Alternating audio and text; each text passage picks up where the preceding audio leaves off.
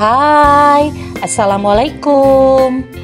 Masih di kota Cirebon nih teman-teman. Minggu ini kita akan review satu hotel budget dengan harga sekitar 300 ribuan. Itu sudah termasuk extra bed ya. Hotel yang punya tema desain klasik ini punya tagline Your home away from home. Hmm, kira-kira berasa seperti rumah nggak ya? Dan inilah Kuning Hotel Cirebon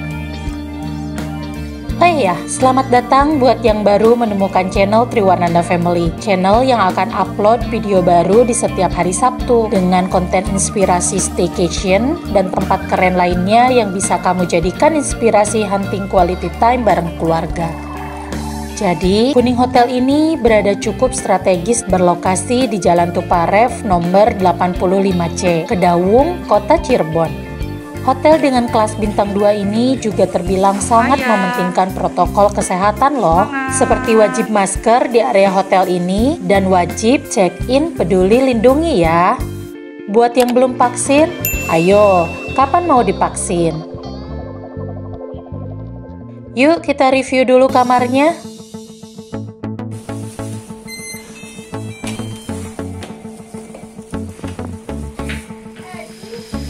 Assalamualaikum teman-teman. Bunda sudah berada di roomnya untuk Hotel Kuning. Bunda pesan untuk tipe superior tetapi dengan extra bed. Jadi harga extra bednya untuk satu bed itu 150.000 udah include dengan breakfast.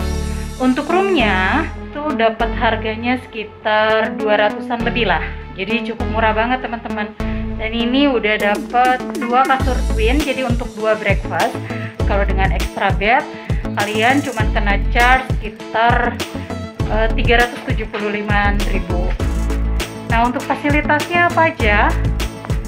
Yang pertama ya tentu dapat dua kasur. Oh kakak lagi pada tidur tiduran nah ada kasur dua dengan twin dan extra bednya di bawah.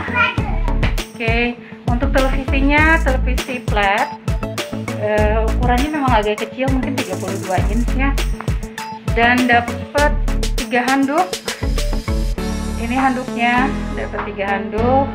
Dan dapat uh, karena kita request minjam sejadah jadi kita dikasih juga pinjam sejadah. Di pojok kasur sana nah itu ada telepon untuk nyambungin ke resepsionis atau ke ruangan yang lainnya dan di dekat sini ya ada gantungan baju dekat banget dengan uh, toiletnya. Untuk amenitiesnya di sini disediakan dua mineral water karena bunda extra bed di sini jadi ditambah juga satu mineral waternya ekstra. Lalu ada pemanas air seperti biasa dan dua cangkir, lalu teh, kopi dan gula. Di bawahnya ada tong sampah. Untuk interiornya ini catnya nuansa ungu. Ya bunda juga suka. Tidak terlalu banyak hiasan hanya lukisan satu buah. Jadi cukup sederhana dan simple. Tapi buat teman-teman yang mencari hotel budget hotel yang minim biayanya karena untuk keperluan bisnis ataupun mau ada acara keluarga di Cirebon ini mungkin bisa jadi salah satu rekomendasi untuk teman-teman kita cek toiletnya seperti apa Oke, okay. untuk tipe toiletnya itu adalah shower. Sebelahnya ada kloset duduk. Itu di bawahnya ada keran juga, jadi mempermudah kalau mau ambil wudhu.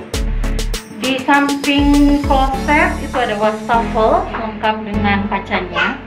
Dan untuk kaca besarnya pun ada nempel di depan pintu.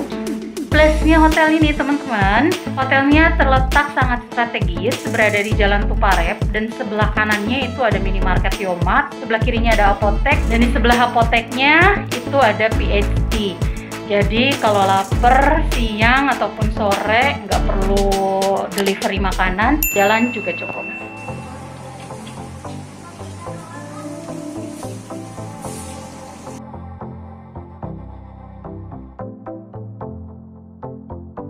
Untuk breakfastnya sendiri, ini tempat makannya asik banget.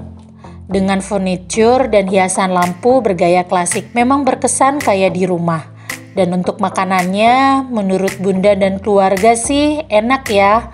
Oh ya, charge breakfast untuk anak dikenakan sebesar 40.000 per pax.